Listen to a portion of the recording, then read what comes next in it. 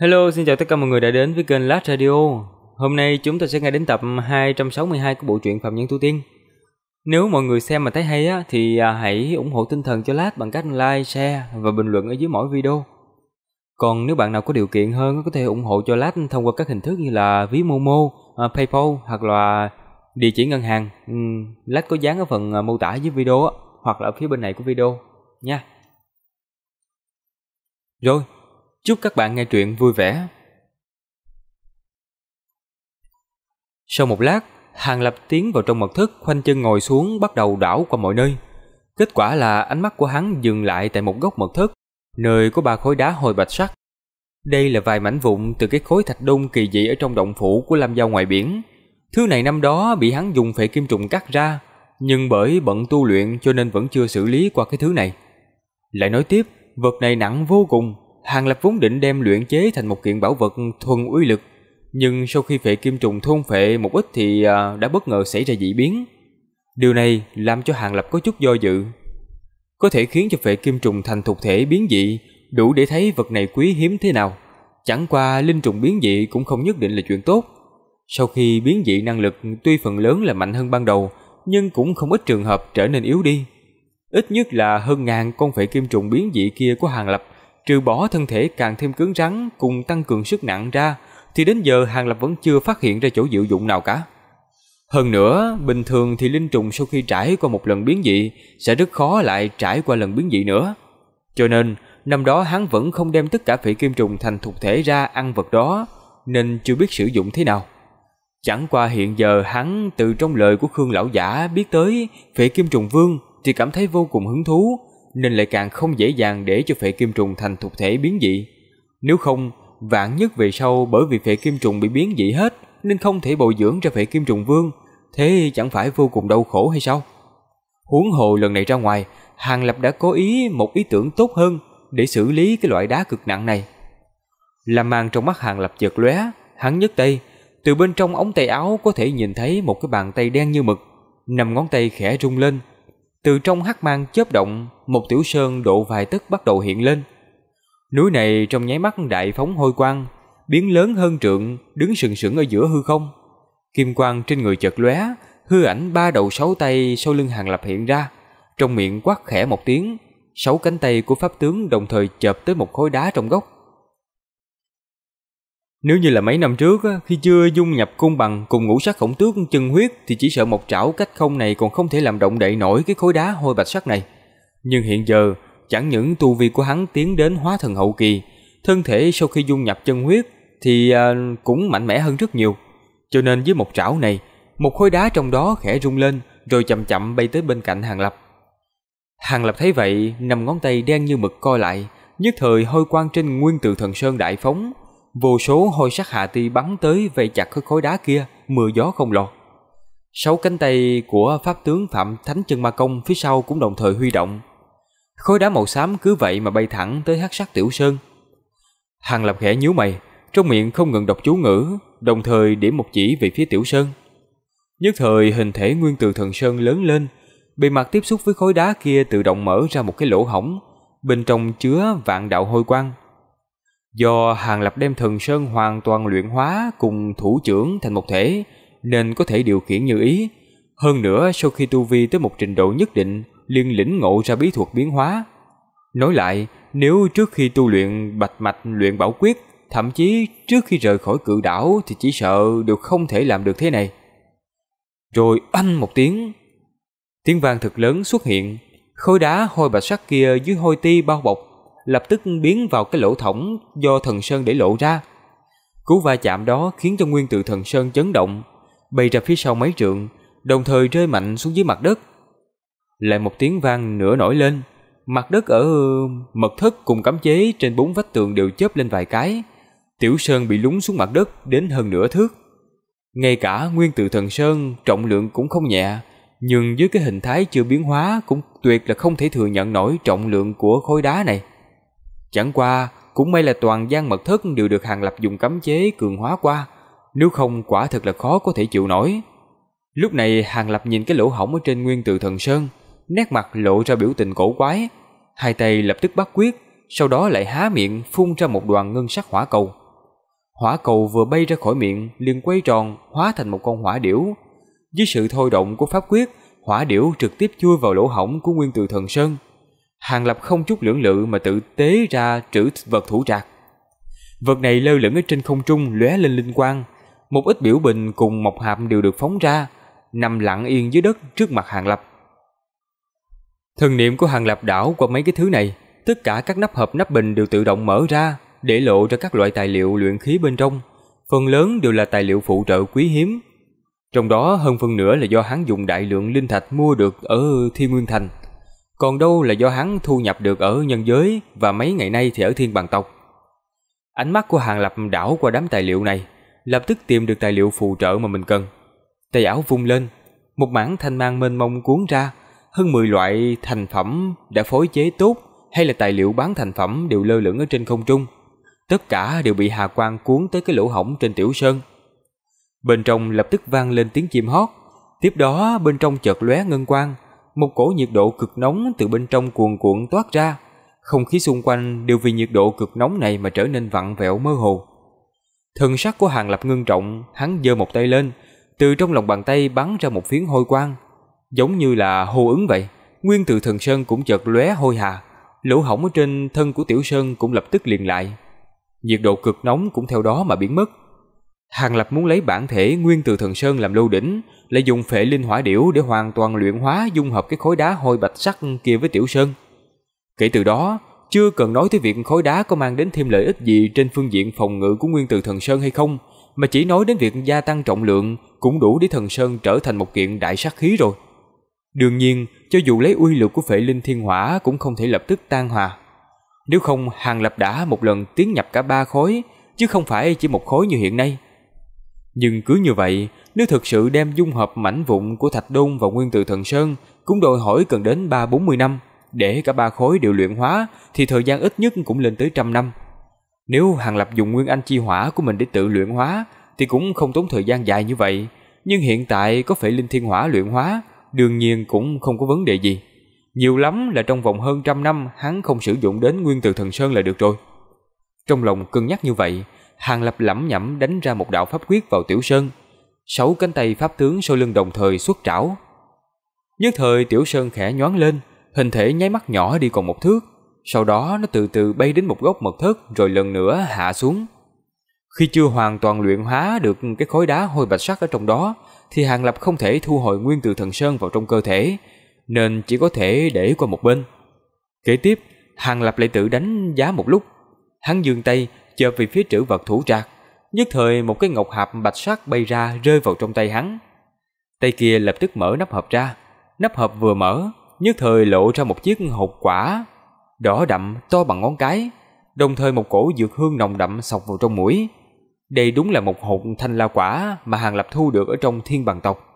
Chỉ cần thứ này sau đó mượn tiểu bình bồi dưỡng là có thể dễ dàng có được thanh la quả chân chính, sau đó có thể tiếp tục luyện chế ra thiên la đan. Có cái đan này, lại thêm phối hợp với hắc diêm đan thì việc đột phá bình cảnh lại càng thêm nắm chắc. Hàng Lập dùng hai ngón tay kẹp lấy cái hộp quả, hai mắt hiếp lại, cẩn thận đánh giá, sau đó nháy mắt phóng xuất ra thần niệm ra khỏi thạch thất. Một lát sau, có một đoàn ô quang bay tới nơi này. Đây đúng là đệ nhị Nguyên Anh. Hàng Lập căn bản là không cần mở miệng nói cái gì, hắn chỉ lần nữa để lại cái hộp quả vào trong hộp ngọc rồi trực tiếp ném tới. Bàn tay nhỏ bé của đệ nhị Nguyên Anh trực tiếp đỡ lấy, tiếp đó thân hình lại nhoáng lên biến mất khỏi nơi này. Sau khi làm xong hai việc quan trọng, Hàng Lập thở dài một hơi, chậm rãi nhắm hai mắt lại. Việc kế tiếp hắn cần làm chính là tìm hiểu kiếm trận trong bộ tân kiếm quyết kia để xem uy lực của Xuân Lê và Thanh Bàn có thực sự lợi hại hay không. Từ đó có quyết định buông tay hay không. Cũng từ đó mà tinh luyện 72 cây thanh trúc phong vân kiếm. Hóa thần từ trung kỳ trở lên đã có thể sử dụng Xuân Lê kiếm trận, nhưng độ phức tạp thâm ảo của kiếm trận này thì hơn xa đại canh kiếm trận.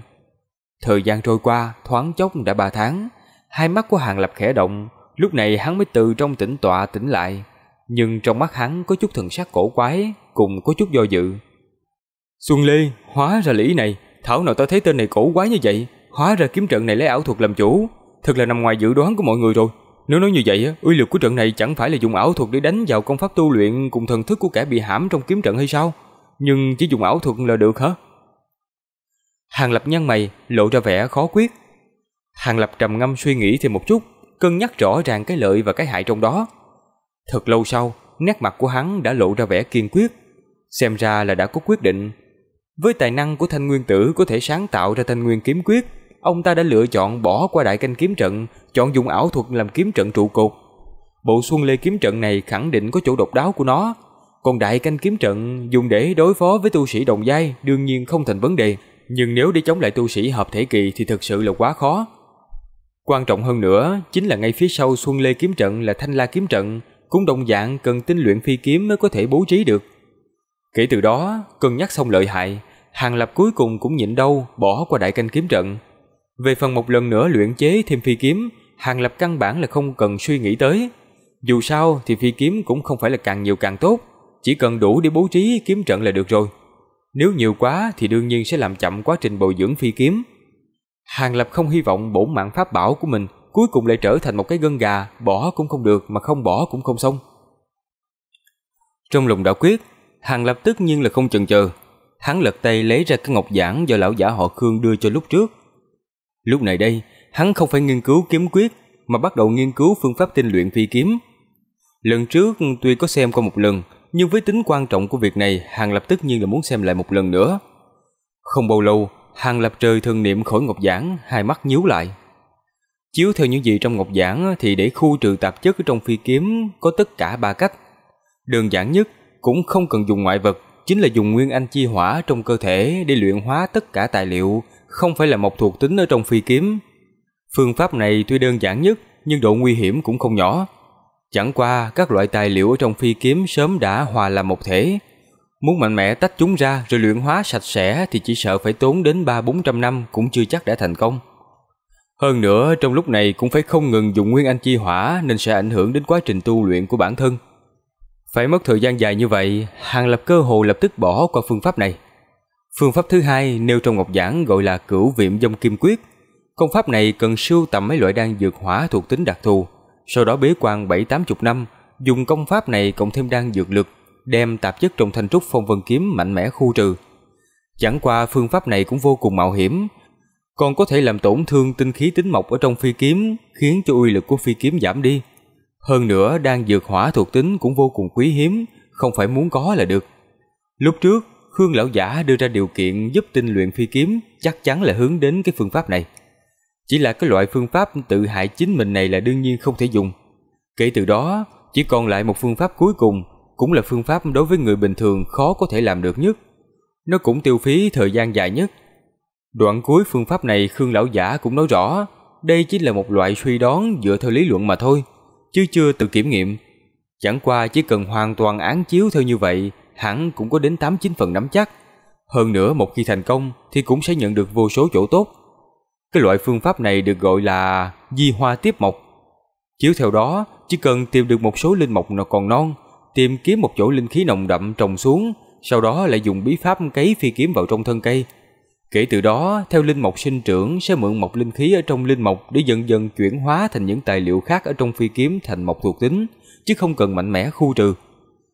Sau khi đợi linh mộc trưởng thành, cũng bởi có mộc linh khí bồi dưỡng trong thời gian dài, nên cũng không thương tổn đến nguyên khí trong phi kiếm. Hơn nữa tự thân còn trở nên tinh thuần đến mức độ khó có thể tưởng tượng. Tuy rằng không cần lập tức tăng cao uy năng cho phi kiếm, vốn sau khi tinh luyện xong, Hàng Lập chỉ bồi luyện thêm một chút cũng dễ dàng giúp cho phi kiếm thông linh.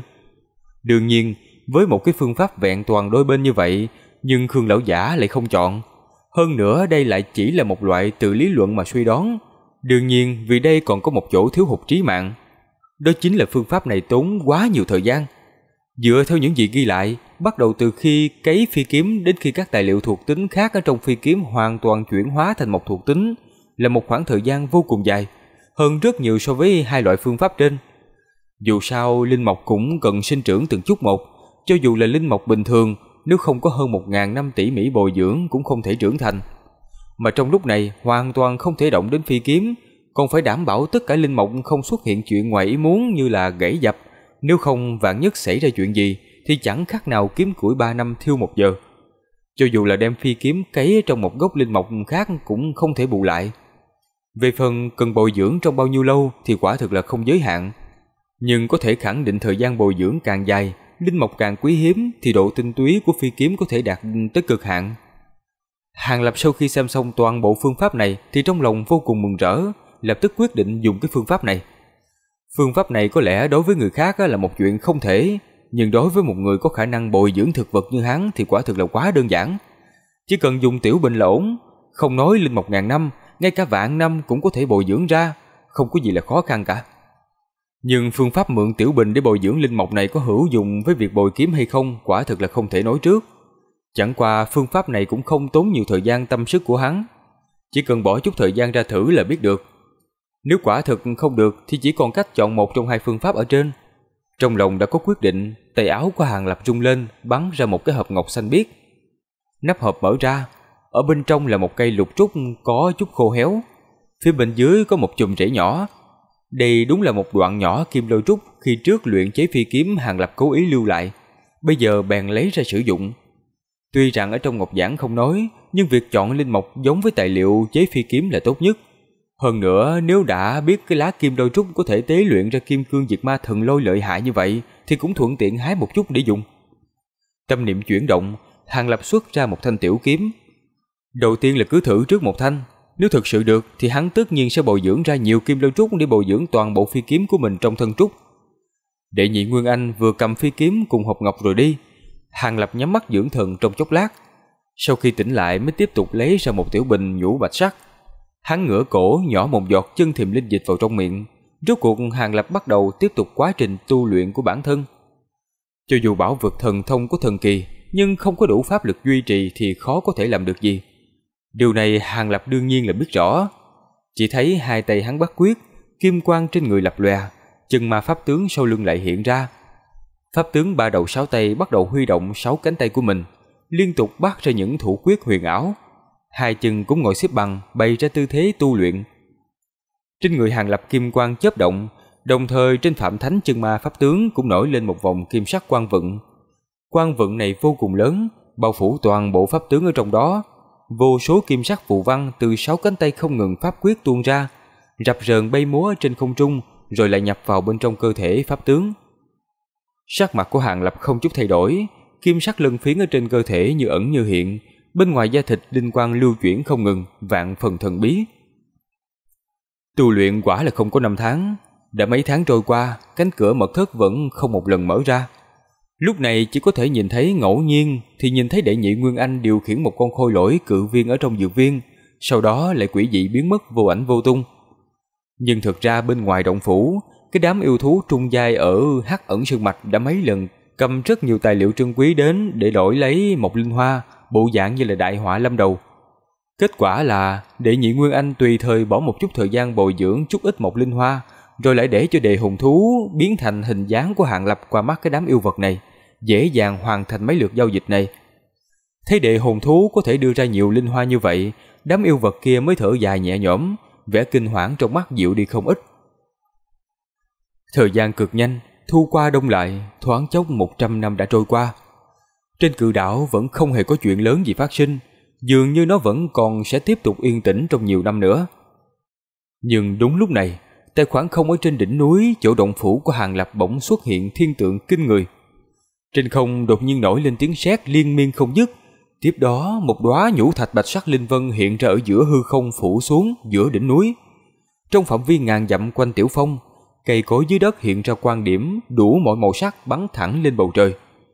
Quan điểm lên tới độ cao nhất định, bắt đầu tản ra hóa thành từng mảng ngũ sắc quang hà, quân cuộn đổ về hướng động phủ của Hàng Lập. Cơ hồ chỉ trong một tuần trà, cự sơn chỗ Hàng Lập đã dày đặt ngũ sắc quang hà, từng tầng từng tầng, khắp mọi nơi hoàn toàn bị nhuộm thành năm màu rực rỡ. Ở không trung lại bắt đầu xuất hiện thiên tượng khác, chỉ thấy cái đoàn nhũ bạch sắc linh vân bắt đầu ngưng tụ thành một vân hoàng đường kính hơn trăm dặm. Ở trung tâm vân hoàng đang hình thành một cơn lốc thanh sắc. Vô số ngũ sắc quang hà đều bị cuốn vào trong đó, bị phá nát rồi bắt đầu dung hợp lại với nhau. Cơn lốc càng lúc càng lớn, càng nhanh, ngũ sắc linh quang bị cuốn vào ngày càng nhiều. Cuối cùng cơn lốc từ thanh sắc chuyển thành ngũ sắc, nhưng ngũ sắc quang hà từ bốn phương tám hướng vẫn không ngừng tụ tập, quang mạc bao lấy cái tòa cự sơn càng lúc càng dày đặc. Dị tượng lớn như vậy, đương nhiên đã kinh động đến tất cả các giả thú bình thường cùng với đám yêu vật cấp thấp cấp trung tại Hắc ẩn sơn mạch. Giả thú bình thường cảm nhận được linh áp cực lớn từ trên trời áp xuống, khiến chúng nằm phủ phục ở trên mặt đất không ngừng rung rẩy. Ngay cả ác thú hung mạnh nhất hiện giờ cũng vô cùng kinh hãi, bốn chân bủng rủng không đứng vững. Còn cái đám yêu vật cấp thấp, cấp trung có chút linh trí đều vội vàng bay về phía động phủ của Hàng Lập. Nhưng tất cả khi đến ngoài ngàn dặm chỗ xảy ra dị tượng thì đều không thể tiến tiếp được. Tất cả như đụng phải một đạo giới hạn vô hình. Chúng đứng từ xa, nhìn về cự sơn đã chuyển màu thành ngũ sắc, với vân hoàng quỷ dị trên không, vẻ mặt không khỏi kinh hoảng. Tiểu thú đầu trâu, cự mãn ba đầu vốn thường giao dịch cùng hàng lập hơn nữa đều đứng ở vùng phụ cận, nên chúng nó đương nhiên có thể nhận ra dị tượng đó xảy ra ở nơi nào. Lúc này không khỏi kinh hãi, bắt đầu đưa mắt quay sang nhìn nhau. Người kia chẳng lẽ định tiến giai? Thiên tượng kinh người như vậy, chẳng lẽ là người đó định tiến giai lên linh xuất? Cái đầu ở giữa của cự mãn ba đầu phát ra âm thanh khàn khàn. Không phải ngỡ là như vậy rồi, nếu chỉ tiến lên một tiểu cảnh giới thì sẽ không xuất hiện thiên tượng vậy đâu. Tiểu thú đầu trâu nhìn Vân Hoàng phía xa xa, chậm rãi khẳng định. Người này nếu thật sự có thể tiến giải lên linh xuất, chẳng phải là cũng có năng lực giúp chúng ta giải trừ nô ngân sao? Cự mãn ba đầu mừng trở nói. Theo lý là như vậy, nhưng vì sao đối phương phải giúp chúng ta? Trong mắt tiểu thú đầu trâu tuy cũng lé lên một chút chờ mong, nhưng lập tức tiêu tán, cười khổ rồi nói. Nghe trong hắc minh vụ kia không biết xảy ra chuyện gì ngoài ý muốn Hay là đã rời đi bỏ chúng ta rồi? Đã hơn trăm năm không thể liên lạc. Nếu không thử thì vì sao tính mạng của chúng ta quả thực là lâm nguy đó nha? Kim viên bên cạnh từ lúc nãy không nói gì Đã cũng lên tiếng. Vậy ý của hai vị đạo hữu là? Trên mặt tiểu thú đầu trâu lộ ra vẻ như hiểu ra điều gì nếu người này thật sự có thể tiến giai thành công á, vậy chúng ta cũng không ngại đem vật kia hiến cho người này để hắn giúp giải trừ cấm chế, sau đó chúng ta sẽ xa chạy cao bay. Cự viên ồ ồ nói, Thứ kia là vật trọng yếu để về sau chúng ta tiến giai, cứ như vậy mà do người ngoài á, dạng nhất hắn có được nhưng lại không giúp chúng ta giải trừ cấm chế, chẳng phải là mất cả trì lẫn chạy hay sao? Tiểu thú đầu trâu chần chờ nói, Nếu ngay cả mạng cũng không còn thì lưu lại cái vật kia phỏng có ích gì chứ? Hơn nữa, người này tuy không phải là đồng loại, nhưng từ những lần giao dịch trước đây thì ta thấy hắn cũng ờ, công bằng đó. Hơn phần nữa là sẽ không làm chuyện này đâu. Cho dù ờ, có phiêu lưu một chút nhưng với tình hình của chúng ta hiện nay, nếu không tóm lấy cơ hội này thì ờ, về sau sẽ hối hận nữa nha. Người kia từ ngoài đến, ai biết còn lưu lại ở đây bao lâu chứ. Cự mãn ba đầu lo lắng, nó đập mạnh đuôi xuống đất, khiến cho mặt đất hằn sâu một vết độ vài xích. Kim viên ở bên cạnh nghe vậy cũng liên tục gật đầu. Nếu hai vị đạo hữu cũng đã có ý kiến vậy rồi thì à, ta cũng không phản đối nữa. Ờ, nhưng trước tiên còn cần xem xét kết quả đã. Dạng nhất người này tiến giai thất bại thì à, tất cả đều vô nghĩa rồi. Tiểu thú đầu trâu thở dài một hơi, đành chấp nhận. Hai con thú còn lại đương nhiên cũng đồng ý với cái đề xuất này. Cả ba đều ngưng thương thảo mà chăm chú nhìn về phía thiên tượng phía xa. Lúc này bạch sắc viên hoàng trên đỉnh cự sơn đã tỏa rộng ra bốn phía. Chỉ trong chốc lát, Vân Hoàng đã bao trọn cái tòa cự sơn vào bên trong. Theo Vân Hoàng biến đổi, cơn lốc bên trong cũng ngày càng cuồng bạo, khó khống chế. Ngũ sắc quang hà ở bên dưới cũng bị cơn lốc này hút lên với tốc độ kinh người. Quang mạc bao quanh, cự sơn càng lúc càng loãng. Trải qua thời gian dài như vậy, ngũ sắc hạ quang bốn phía tụ tập về cự sơn cũng bắt đầu thưa dần. Mấy ngày nay, nguyên khí biến thành linh quang rút cuộc cũng đều tập trung một chỗ, tất cả đều bị cơn lốc cuốn thẳng vào bên trong Vân Hoàng. Một tầng quang mạc cuối cùng trên cự sơn cũng biến mất hoàn toàn. Cơn lốc cũng ngừng lại, phía trong Vân Hoàng bỗng nhiên trở nên yên lặng, chỉ còn ngũ sắc hào quang ở trong Vân Hoàng là không ngừng chớp động, giống như sự yên lặng trước cơn mưa giông. Đột nhiên một tiếng lông ngâm vang vọng từ chỗ sâu trong cự sơn vang lên. Trên đỉnh cự sơn bùng phát ra kim quang, một hư ảnh pháp tướng cao tới ngàn trượng ba đầu sáu tay, toàn thân kim quang chói mắt phản phất như là thực thể hiện ra. Ba chiếc đầu từ từ ngẩng lên, ánh mắt trên ba gương mặt vốn mơ hồ không rõ, bắn ra hào quang chói mắt. Sáu cặp mắt vàng rực không hề có chút tình cảm nhìn thẳng vào Vân Hoàng ở trên không trung. Đột nhiên ba chiếc đầu bừng sáng, ba tiếng thét dài chói tai vang lên. Tiếng kêu liên miên không dứt, giống như là thiên lôi vang vọng trên bầu trời. Giả thú bình thường ở ngoài xa còn tốt, nghe thấy âm thanh này ngoại trừ kinh hãi ra còn không xảy ra vấn đề gì khác. Còn cái đám yêu thú cấp thấp, cấp trung có yêu lực trong người, vừa nghe thấy thì hai tay đã ông lên như toàn thân bị hãm vào trong sóng lớn, toàn bộ thần thức trống rỗng, mất đi ý thức. Tiếng thét dài ước chừng kéo dài hơn một tuần trà mới kết thúc. Tiếp sau đó, sáu cánh tay đều tự động bắt quyết. Vài tiếng trầm thấp vang lên, bốn phía chợt lóe linh quang, bốn hư ảnh to bằng một nửa pháp tướng hiện ra. Một con thanh sắc đại bàng, một con ngũ sắc khổng tước, một ngũ trảo kim long cùng một con thải phượng cực lớn. Bốn hư ảnh chân linh khác nhau vừa hiện thân để tự động phát ra tiếng rồng ngâm phượng hót, các loại âm thanh. Tiếp đó hoặc chúng nói dương rộng hai cánh ra, hoặc lắc mình quẩy đuôi bay múa xung quanh pháp tướng. Ba gương mặt trên ba chiếc đầu của pháp tướng vốn mơ hồ không rõ, bỗng lóe lên hạ quang, đồng thời hiện ra gương mặt của Hàng Lập. Trên hai gương mặt phía trước, kim mang trong mắt không ngừng chớp động, thần sắc ngưng trọng vô cùng. Chỉ có gương mặt trên chiếc đầu cuối cùng không biết vì sao vẫn mơ hồ không rõ. Một gương mặt đã hiện rõ bỗng hét lớn một tiếng. Bốn hư ảnh chân linh vốn đang bay lượn xung quanh thân hình thoáng dừng lại một chút, rồi hướng vào phía đối phương lao thẳng vào thân hình khổng lồ của pháp tướng. Linh quang lóe lên, bốn hư ảnh chớp mắt đã biến mất không thấy bóng dáng. Thân hình pháp tướng ba đầu sáu tay rung lên, sáu cánh tay lập tức huy động, kim quang lưu chuyển quanh thân lại lan tỏa rộng ra. Thân hình vốn cao đến ngàn trượng lại tiếp tục lớn lên, chỉ trong chốc phút đã cao hơn cả cự sơn bên dưới một cái đầu. Lúc này kim ảnh chân đạp đất bằng, đầu đội thiên không, giống như có thể trực tiếp đưa tay với lấy vân hoàng ở trên thiên không vậy. Đúng lúc này, từng đợt phạm âm kỳ diệu từ một gương mặt đã hiện rõ truyền ra. Tiếp đó, sáu cánh tay đồng thời điểm lên vân hoàng ở trên hư không. Vân hoàng vốn vẫn yên lặng bất động, giờ phút này bỗng như sống lại. Hà quang chớp động, vân hoàng to lớn bỗng rơi xuống bao phủ lấy thân hình pháp tướng vào trong đó. Khi rơi đến phần eo của pháp tướng thì nó bỗng dừng lại.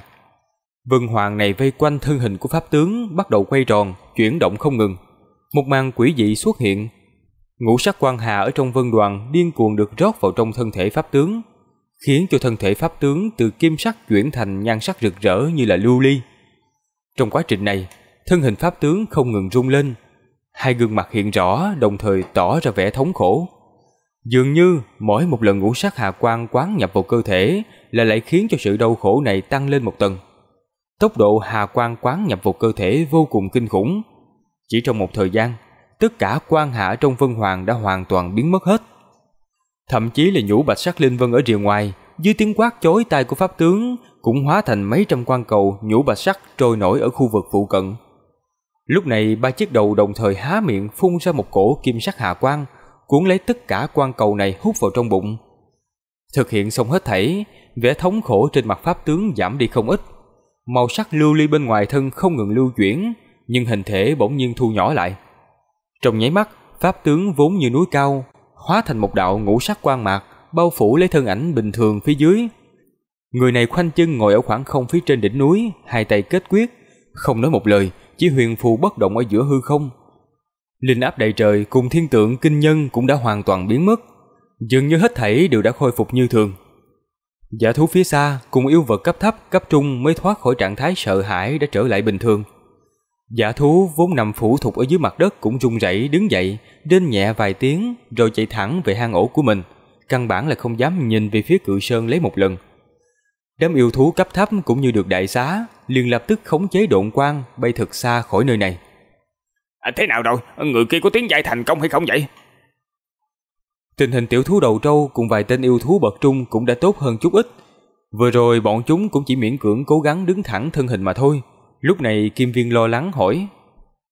Ồ, không biết đâu, quá trình người kia trùng kích vào linh xuất hẳn còn chưa chấm dứt. Thiên tượng kinh người lúc trước có chẳng qua là do người này hấp thu thiên địa linh khí phụ cận mà thôi. Hiện giờ mới bước vào thời khắc máu chốt đây nè. Tiểu thú đầu trâu tựa hồ có kiến thức nhất, ánh mắt thoáng nhìn về đạo ngũ sắc quang ảnh ở phía cự sơn, chậm rãi nói. Cự mãn ba đầu cùng yêu viên nghe vậy thì đều cảm thấy bất ngờ, nhìn không được mà cũng nhìn về phía cự sơn ở xa xa. Ờ, chúng ta đi thôi, thời gian người này phá tan bình cảnh ở phỏng trường cũng không có ngắn đâu, nhanh thì mấy ngày, chậm thì cả tháng lận. Chúng ta nếu lưu lại ở đây lâu dễ khiến người ta để ý, ngược lại lộng xảo thành chuyên nữa. Tiểu thú đầu trâu tựa hồ nhớ ra điều gì, lập tức nói. Hai con còn lại nghe vậy thì thoáng rùng mình, nhất loạt đồng ý. Tam yêu cũng biến thành một trận yêu phong bay đi, thoáng chốc nơi đây đã không còn thấy bóng dáng bọn chúng. Nhưng ảnh ở trong ngũ sắc quang mạc trên cự sơn phía xa xa vẫn đang nhắm nghiền hai mắt lại, tựa hồ không hề để ý đến việc này. Một ngày, hai ngày, năm ngày, mười ngày, suốt hai tháng thời gian, nhưng ảnh vẫn huyền phù ở khoảng không phía trên đỉnh núi. Chỉ có điều là ngũ sắc quang mạc bao quanh càng trở nên chói mắt. Thấy tình hình như vậy khiến cho mấy tên yêu vật bậc trung mấy lần lén lén quay lại đều không khỏi lấy làm kỳ lạ. Đồng thời chúng đều tỏ ra khó hiểu. Chẳng qua trong lúc này cũng có một chút giả thú ngẫu nhiên quên mất thiên tượng đã xảy ra lúc trước mà xông vào khu vực trăm dặm phía trong cự sơn, nhưng lập tức bị bạch vụ cuốn lấy rồi biến mất vô ảnh vô tung. Phụ cận cự sơn không biết từ khi nào đã xuất hiện một siêu đại cấm chế, càng tới gần trung tâm thì uy lực lại càng mạnh. Qua tiếp nửa tháng, nhân ảnh ở trong quan mạc đột nhiên rung lên, ngũ sắc hạ quan bên ngoài cơ thể cũng lưu chuyển, rốt cuộc nhân ảnh cũng mở mắt ra, tiếp đó thét dài một tiếng. Tiếng thét này không ẩn chứa thần thông, nhưng có thể cảm nhận được rõ sự vui mừng trong đó. Sau khi kết thúc thét dài, nhân ảnh này lập tức đứng lên vung song trưởng, tức thì ngũ sắc quang mạc xung quanh hóa thành từng điểm linh quang tán loạn tiêu thất. Tiếp đó hai tay nhân ảnh lại tiếp tục kết quyết, sau lưng hiện ra một đôi cánh, bỗng nhiên tiếng sấm nổ vang, nhân ảnh biến mất một cách quỷ dị. Sâu trong cự sơn, trong mật thất chợt lóe một đạo thanh sắc điện hồ, thân hình Hàng Lập từ đó hiện ra, trên mặt hắn tràn đầy vẻ mừng rỡ. Dưới phụ trợ của chân thiềm linh dịch, lại trải qua 100 năm khổ tu, hắn đã tiến đến hóa thần đại viên mãn. Tinh thần chi lực tồn tại ở trong thiên bằng xá lợi cũng bị luyện hóa hoàn toàn, từ đó hắn chiếm được bí quyết luyện hóa hai loại chân linh chi huyết chân long, thiên phượng. Hắn tất nhiên không chút do dự, đem hai loại linh huyết dung nhập vào trong cơ thể, đồng thời nắm giữ luôn hai loại biến hóa chân long thiên phượng trong kinh trập quyết. Khi đó vô luận là thân thể hay là pháp lực của Hàng Lập đều đã đạt tới một cảnh giới không thể ngờ tới, là trạng thái mạnh mẽ nhất trong cảnh giới hóa thần. Cùng lúc này, từ hộp thanh la quả hắn cũng đã bồi dưỡng được ra mấy cây thanh la quả. Hắn dùng quả này làm chủ tài liệu, sau một vài lần thất bại đã luyện chế ra một lô hơn 10 khỏa thiên la đan. Dưới sự chuẩn bị kỹ càng, Hàng Lập mới sử dụng ba khỏa hắc viêm đan cùng ba khỏa thiên la đan phụ trợ, rút cuộc bắt đầu trùng kích vào cảnh giới luyện hư. Lại nói tiếp, vận khí của Hàng Lập coi như là không tệ. Hai trong ba khỏa thiên la đan đều có công dụng, khiến cho hai khỏa hắc viêm đan đề cao hiệu quả lên hai ba thành. Trong điều kiện thuận lợi đó, Hàng Lập tiêu tốn mấy tháng thời gian rút cuộc điều động thiên địa nguyên khí ở trong phạm vi ngàn dặm quán chú pháp thể, do đó mới có thể thuận lợi thành công tiến nhập vào cảnh giới luyện hư. Vô luận là tu vi hay là thần thức đều tăng lên gấp đôi lúc trước, có khi còn hơn. Nhưng lúc này, Hàng Lập lại lơ lửng ở giữa mật thất, nhắm mắt cảm ứng bốn phía. Vốn hắn chỉ cảm ứng được thiên địa nguyên khí một cách mơ hồ, hiện giờ lại có thể cảm ứng thấy vô cùng rõ ràng. Phản phất chỉ cần quơ tay là có thể đem chúng tụ tập trong lòng bàn tay. Bỗng nhiên mí mắt của hắn khẽ giật, rồi thực sự đưa tay chợp về phía khoảng không phụ cận. Tiếng xé gió vang lên, năm đạo tinh mang từ năm đầu ngón tay bắn ra. Khu vực phụ cận lập tức nổi lên vô số điểm linh quang năm màu lớn nhỏ như là hạt gạo, hiện ra tụ tập vào bên trong tinh mang. Lập tức tinh quang đại trướng, một bàn tay năm màu cực lớn được hình thành trong hư không. Quả là vậy, sau khi tiến vào luyện hư kỳ, trình độ nắm giữ thiên địa nguyên khí so với hóa thần kỳ cách biệt một trời một vực. Hàng Lập lẩm nhẩm đánh giá. Tại hóa thần kỳ, hắn chẳng qua chỉ có thể mơ hồ cảm ứng được sự tồn tại của thiên địa nguyên khí và sử dụng một chút gia lông bên ngoài mà thôi. Hiện giờ mới có thể xem như là chính thức nắm giữ thiên địa nguyên khí ở trong tay. Chỉ cần giơ tay nhấc chân thi triển công pháp nào đi chăng nữa đều được thiên địa nguyên khí gia tăng. So với ban đầu lợi hại hơn không ít. Nếu thi triển thần thông có thể chuyên môn sử dụng thiên địa nguyên khí thì chắc chắn uy lực sẽ còn mạnh hơn rất nhiều. Ánh mắt của Hàng Lập tỏ rõ sự hài lòng. Hắn khẽ vung tay, lập tức bàn tay năm màu cực lớn đã tan ra biến mất. Thân hình Hàng Lập từ từ hạ xuống mặt đất. Lần này ánh mắt của hắn lại rơi vào một thứ ở trong góc mật thất. Đây đúng là nguyên từ thần sơn hơn trăm năm trước hắn đặt ở đó. Trong hơn trăm năm này, Hàng Lập lần lượt bỏ thêm vào trong thần sơn hai khối đá cực nặng kia để dung luyện. Tính thời gian đến nay thì dường như cũng đã luyện hóa được tương đối rồi. Trong lòng Hàng Lập nghĩ vậy, hắn không hề do dự, khẽ đưa một tay lăng không chụp lấy thần sơn. Mặt đất mật thất rung lên một chút, hắc sắc tiểu sơn từ từ đằng không bay lên hướng về phía Hàng Lập. Năm ngón tay bỗng xòe ra, hắc sắc tiểu sơn đang bay tới thì tức thì dừng lại ở trước mặt. Hàng Lập cẩn thận đánh giá, nguyên từ thần sơn so với trước kia căn bản không có gì biến hóa, màu sắc vẫn như cũ. Chẳng qua hắn có thể dễ dàng lăn không chợp lấy tiểu sơn mà không cảm thấy mất sức, từ đó có thể thấy được mấy khối vụn của thạch đôn đã hoàn toàn dung hợp với cái núi này thành một thể. Nếu không, ngay cả cho dù pháp lực đại tiến cũng không thể nào thao túng dễ dàng như vậy. Hắn gật đầu, đánh một đạo pháp quyết lên tiểu sơn. Thành quang lóe lên, pháp quyết vừa tiếp xúc với tiểu sơn đã nhập thẳng vào trong đó, biến mất không thấy bóng dáng. Mặt ngoài tiểu sơn ngân quang sáng ngời, một đoàn ngân sắc hỏa diễm bay ra, trong chốc lát xoay tròn đã hóa thành ngân sắc hỏa điểu. Đây đúng là phệ linh hỏa điểu. Hình thể của hỏa điểu so với ban đầu rõ ràng nhỏ hơn một vòng, hơn nữa thần thái có chút mệt mỏi. Hiển nhiên hơn trăm năm qua, do không ngừng luyện hóa thạch đung khiến cho con hỏa điểu này hao tổn không ít bổn nguyên chi lực. Hàng Lập thấy vậy có chút đau lòng, trong miệng quát khẽ một tiếng, rồi đưa tay về phía hỏa điểu. Nhất thời hỏa điểu lập tức bắn về phía Hàng Lập, chỉ thoáng lóe lên, nó đã tiến thẳng vào bên trong thân thể. Hàng Lập chỉ sợ là cần phải bồi dưỡng nó trong người một đoạn thời gian mới có thể khiến cho hỏa điểu một lần nữa khôi phục nguyên khí. Khóe miệng Hàng Lập mỉm cười, lại hướng về phía hắc sắc Tiểu Sơn đánh ra một đạo pháp quyết. Tiểu Sơn khẽ rung lên, chớp mắt đã biến mất trong tầng hôi quang. Ngay sau đó, một cánh tay tối đen như mực của Hàng Lập cuốn lên, hắc quang chớp động, trong lòng bàn tay lập tức xuất hiện một tòa tiểu sơn cao ba tấc. Sau đó tiểu sơn lóe lên rồi biến mất. Cùng lúc đó, ở trên mu bàn tay lại xuất hiện một đồ án ngân sắc tiểu sơn. Vừa rồi Hàng Lập đã lại đem nguyên từ thần sơn phong ấn trên tay của mình. Nhưng Hàng Lập bỗng biến sắc, cánh tay vốn hơi nâng lên bỗng rơi thẳng xuống dưới, đồng thời thân hình của hắn cũng theo đó mà nghiêng đi, cả người loạn choạng muốn ngã. Không tốt! Trong lòng Hàng Lập kêu lên, hai đầu gối hắn vội vàng trùng xuống, đồng thời cánh tay còn lại cũng lập tức đỡ lấy cánh tay này. Toàn thân lắc lư mấy cái, cuối cùng mới có thể trụ vững thân hình. Trong khoảnh khắc hắn đem nguyên từ thần sơn phong ấn trong tay, thì cánh tay đó bỗng trở nên nặng vô cùng.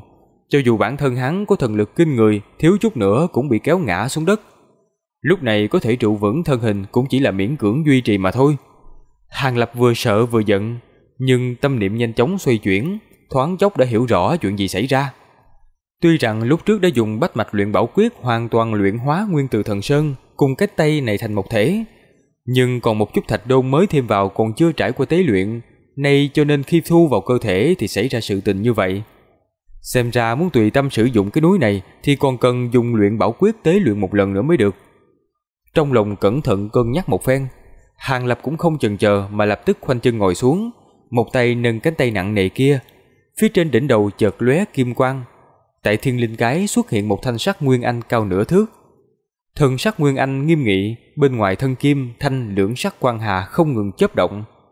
Lúc này Nguyên Anh lập tức vùng tay bắt quyết, nó hé miệng phun ra một ngọn thanh sắc hỏa diễm lên bàn tay có phong ấn tiểu sơn. Bàn tay đen như mực kia lập tức được thanh sắc anh hỏa bao phủ.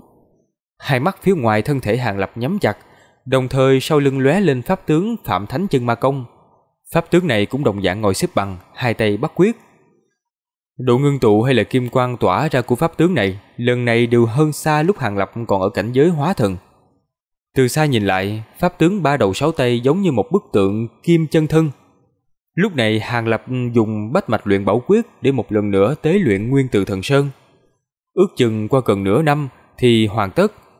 Cũng là do núi này đã được luyện hóa một lần.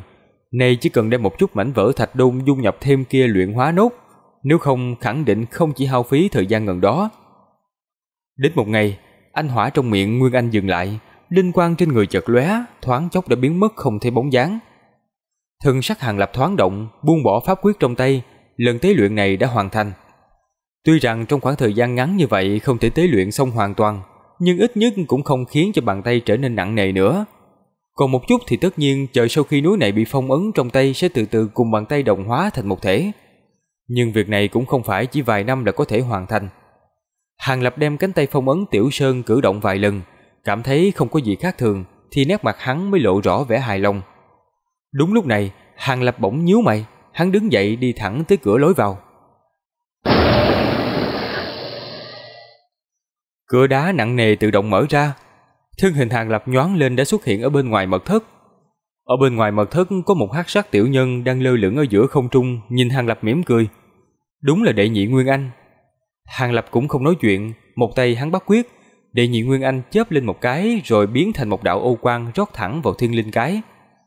Hai mắt Hàng Lập nhắm lại, thoáng chốc đã biết rõ mọi chuyện xảy ra trong vòng trăm năm này. Những yêu thú kia tìm tới cửa lại còn muốn gặp ta nữa hả? Hai mắt Hàng Lập mở ra, trong đó lộ rõ vẻ kỳ quái. Chẳng qua hắn cũng không chần chờ mà lập tức đi thẳng đến đại sảnh. Sau vài lần chớp lên, Hàng Lập đã xuất hiện tại cửa đại sảnh, bên trong còn mơ hồ truyền ra tiếng nói. Lông mày Hàng Lập nhướng lên, không khách khí mà trực tiếp đi vào. Tất cả thanh âm nói chuyện bên trong lập tức ngưng lại, mọi ánh mắt đều tập trung vào người mới tới, kết quả là tất cả đều trợn mắt há mồm. Ánh mắt của Hàng Lập đảo qua đại sảnh thì thấy có bốn đầu yêu thú đang đứng, đây đúng là tiểu thú đầu trâu, kim viên, cự mãn ba đầu cùng với đại trư yêu lúc trước cùng với hắn giao dịch một linh hoa. Ở ghế chủ tọa giữa đại sảnh, một hàng lập vận thanh bào đang ngồi đó tủm tỉm cười. Hàng lập này đang ngồi thấy hàng lập tiến vào thì lập tức thu hồi nụ cười, rồi đứng thẳng dậy hướng về phía hàng lập thi lễ rồi nói. Bái kiến chủ nhân, chúc mừng chủ nhân đã tiến giai thành công. Ừ, trong khoảng thời gian này cũng vất vả cho ngươi rồi. Hàng Lập sớm từ đệ nhị Nguyên Anh biết rõ mọi việc, nên thấy cảnh này cũng không có gì bất ngờ, chỉ gật đầu rồi khẽ khoát tay một cái.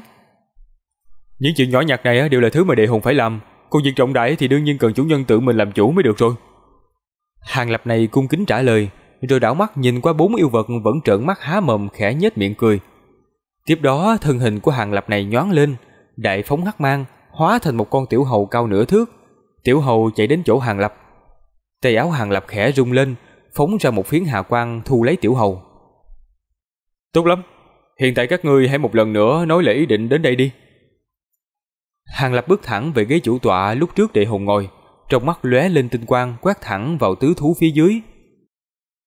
À, à, vài ngày trước chúng tôi đã nhìn thấy thiên tượng khi tiền bối tiến giai, à, cho nên đến đây chúc mừng tiền bối thần thông đại tiến đó mà.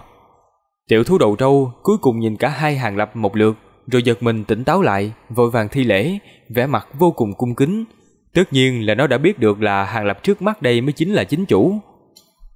Ồ, các ngươi sao có thể dám chắc ta thành công tiến giai? Nói không chừng có thể ta đã thất bại rồi. Hàng lập cười hắc hắc hỏi tiếp một câu. Tiền bối nói đùa rồi, người khác có lẽ sẽ thất bại, nhưng với đại thần thông của tiền bối sao có thể xuất hiện việc này được chứ? Cương mãn ba đầu đứng giữa lập tức cướp lời, mở miệng nịnh hót. Hàng Lập nghe xong lời này thì cười ha hả, sau đó đảo ánh mắt qua tứ yêu, sắc mặt đột nhiên trầm xuống. Được rồi, không cần dòng do nữa, ta cũng đã nghe qua nói là các ngươi tới lần này là để hiến bảo hả? Có mục đích gì thì nói ra đi, ta cũng không có nhiều thời gian đi lãng phí đâu. Với tu vi hiện giờ của Hàng Lập đã hơn gấp bội so với tu sĩ luyện hư sơ kỳ bình thường, tuy rằng không có ý để lộ khí thế, nhưng lời nói bình thường vẫn có thể ảnh hưởng tới thiên địa nguyên khí, khiến không gian quanh đó không ngừng quay cuồng. Tứ yêu cảm thấy không khí gần đấy trở nên nặng nề như có ngàn cân đè lên, thân hình siêu vẹo thiếu chút nữa là ngã xuống. Ờ, tiền bối bốt giọng, chúng tôi quả thật là đến hiến bảo, tôi không có ý ác ý gì đâu. Tiểu thú đầu trâu biến sắc. Một mặt thì cố gắng điều động pháp lực ở trong cơ thể chống đỡ áp lực, một mặt là cuốn quýt quỳ xuống phân trần. Vô duyên vô cớ đến hiến bảo hả? Thôi được rồi, trước tiên xem bảo vật của các ngươi đem đến là gì. Nếu có hứng thú, ta sẽ nghe các ngươi trình bày. Còn nếu như là một chút tác dụng cũng không có thì các ngươi nên lập tức rời đi. Hàng Lập nhạt giọng nói. Tùy theo lời của Hàng Lập, áp lực trong đại sảnh lập tức tiêu biến khiến cho thâm tâm tứ yêu thở phào. Chúng vội vàng đứng thẳng thân mình. Tiểu thú đầu trâu cũng không dám chần chờ, liền ngầm ra hiệu với kim viên bên cạnh. Con viên này do dự một chút, rồi từ trong người lấy ra một chiếc hộp gỗ màu đen. Tiếp đó tự mình tiến lên vài bước, cung kính dùng hai tay dâng lên, Hàng Lập một câu cũng không nói, chỉ khỏe ngoắt tay. Vèo một tiếng, hộp gỗ lập tức được nhiếp tới trong tay. Tiếp đó, tay áo của hắn khẽ phất qua nắp hộp, thoáng chốc bên ngoài hộp gỗ lóe lên thanh hà, rồi tự động mở ra để lộ vật chứa ở bên trong. Đây là một loại quả màu đỏ tươi to bằng nắm tay. Vỏ quả trải rộng ngân sắc ti võng, hào quang không ngừng lưu chuyển. Hàng Lập có chút kinh ngạc, cũng không cần tứ yêu giải thích mà tự động dùng hai ngón tay kẹp lấy cái quả này, dơ lên dùng thần niệm quan sát. Trong thoáng chốc, sắc mặt của Hàng Lập liên tục biến đổi, từ vẻ bất ngờ lúc đầu chuyển thành tò mò, rồi lại châu mày, tiếp đó là vẻ trù trừ không quyết. Tứ yêu thấy biểu tình của Hàng Lập như vậy thì không khỏi liếc mắt nhìn nhau, nhưng không kẻ nào dám lên tiếng. Ước chừng độ một tuần trà sau, Hàng Lập thở dài một hơi để lại kết quả kia vào trong hộp. Đây là một quả huyết hạnh, không ngờ rằng ngay cả vật này mà các ngươi cũng có thể tìm được nữa. Hàng Lập tùy ý liếc mắt qua chiếc hộp một lần nữa, rồi hướng về phía tứ thú mỉm cười nói. Tiền bối tọa nhãn đủ đốt vậy đó, liếc một cái đã nhìn ra lai lịch của vật này rồi. Ở thứ này bốn người chúng ta đã tìm kiếm được một chỗ thượng cổ di chỉ ở trong hắc ẩn sơn mạch, hiện giờ muốn hiến tặng nó cho tiền bối. Tiểu thú đầu trâu thấy Hàng Lập nhận ra được lai lịch của huyết hạnh thì thoáng giật mình, nhưng trong miệng vẫn kính cẩn trả lời. Nếu ta nhớ không lầm thì vật này có kỳ hiệu với huyết luyện thể, là linh dược phụ trợ khó có được cho yêu thú các ngươi tiến giai. Có thể nói là kỳ vật dạng năm khó gặp. Các ngươi nếu ngay cả vật này cũng bỏ được, xem ra việc các ngươi sắp yêu cầu khẳng định là không nhỏ rồi. Được rồi, vật này đối với ta đúng là có chút hữu dụng đó, các ngươi có yêu cầu gì thì cứ nói ra đi. Hai mắt Hàng Lập nhíu lại, không chút hoang mang nói. Thấy thần thái của Hàng Lập như vậy, tứ yêu lại nhìn nhau. Lúc này tiểu thú đầu trâu mới hoi nhẹ một tiếng, bắt đầu mở miệng. À, à, tiền bối đã nhìn thấu tâm tư của giảng bối thì à, cũng không dám giấu giếm nữa. À, bốn người bọn tôi lần này đến đây cũng vì ăn nguy của tính mạng thôi. Thân sắc tiểu thú có chút buồn bã, trong lời nói có vài phần ý tứ cầu xin. Vẻ mặt của Hàng Lập không chút thay đổi, vẫn yên lặng lắng nghe con thú này nói. Tiểu thú thấy vậy chỉ có thể miễn cưỡng cười cượng, cẩn thận nói tiếp. Ừ, chúng tôi cung phụng làm việc cho thiên bằng nhân, điều này hẳn là không thể gạt được tiền bối. Ờ, nhưng linh vật ở trong sơn mạch này ngày càng ít, ờ, chỉ sợ qua ngàn năm nữa sẽ không còn gì để cung cấp nữa. Cho nên lần này chúng tôi tới đây là muốn nhờ tiền bối ra tay tháo bỏ nô ngân ở trên người, ờ, giúp chúng tôi khôi phục lại thân thể tự do, không phải tiếp tục bị nhốt ở trên đảo nữa. Chỉ cần tiền bối đáp ứng việc này thôi, mấy người giảng bối chẳng những nguyện ý dân tặng quả huyết hạnh này, mà cũng đem thêm một số vật quý hiếm tìm kiếm được trong nhiều năm dân tặng coi như để tỏ lòng cảm ơn nữa. Ờ, tuy rằng với tu duy thần thông của tiền bối thì những thứ đó không đáng là gì, ờ, nhưng chúng tôi có chút thiên phú tầm bảo, hẳn sẽ không làm tiền bối thất vọng đâu. Nô ngân hả? Thảo nào ta tự hỏi tại sao các ngươi lại không rời khỏi nơi đây, hóa ra là bị thiên bằng tộc hạ cấm chế. Trước tiên à, để ta xem thử tình hình một chút cái đã. Thân sắc hàng lập thoáng động, bỗng nhiên chợp về phía hư không. Một mảng kim sắc tinh mang theo lồng trưởng cuốn ra. Tiểu thú chưa kịp phản ứng thì đã cảm thấy toàn thân cứng đờ mất đi khống chế, Cả người bị một cổ hấp lực cuốn lấy, tự động bay về phía Hàng Lập. Con thú này thét lên kinh hãi, thân hình nhỏ bé của nó thoáng chốc đã xuất hiện trước mặt Hàng Lập. Cứ vậy trôi nổi ở trên không trung, không thể nhúc nhích mảy may. Tam thú còn lại hoảng sợ, vội vàng lui lại phía sau, vẻ mặt cảnh giác.